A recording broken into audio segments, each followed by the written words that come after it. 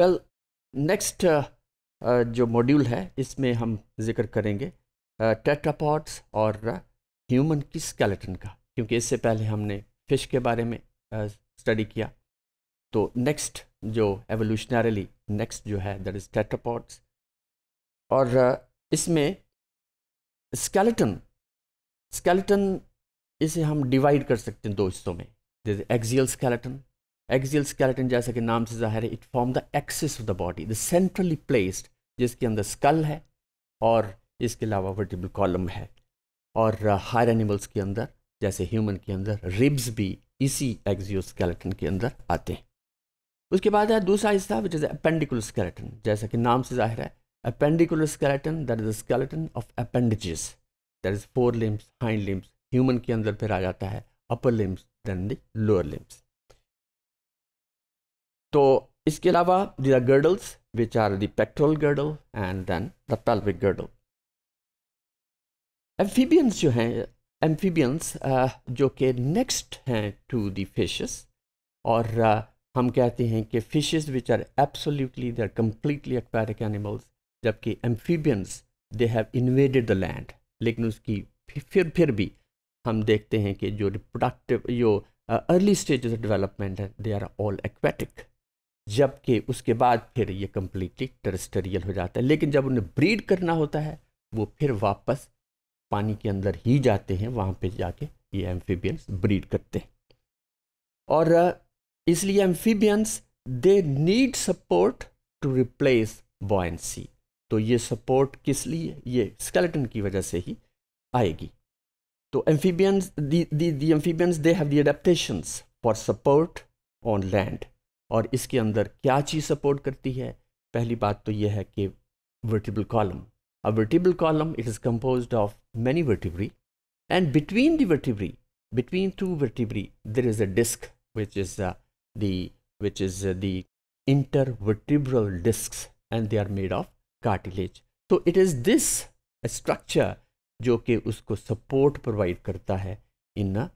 इन animals को ख़ास तौर पर ये जो टेट्रापॉड्स हैं या एम्फीबियंस की बात कर रहे हैं। और इसके अलावा ये बोन्स जो हैं, ये ये भी रिजिड हो गई हैं with the pace of time और ये, इसके अंदर कैल्सिफिकेशन हो गई है, इसके अंदर फॉस्फेट बन गए हैं, जिसकी वजह से ये बोन्स काफ़ी हद तक हार्ड हो जाती हैं।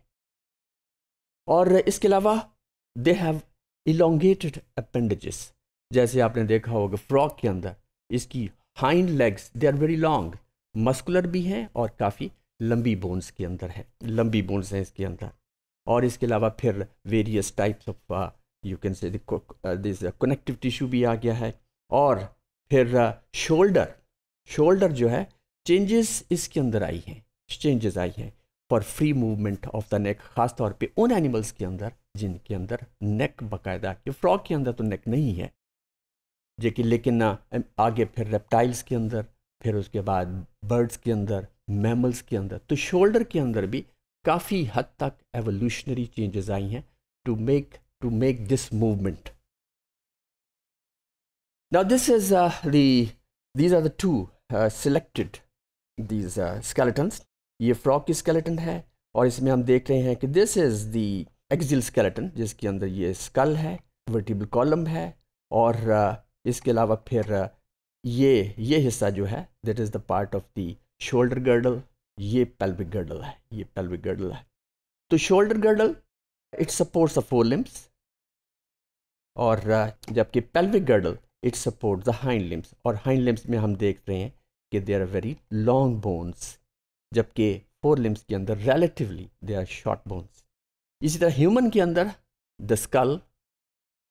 then these vertebral column इसके अलावा रिब्स और ये, इसके अलावा फिर ये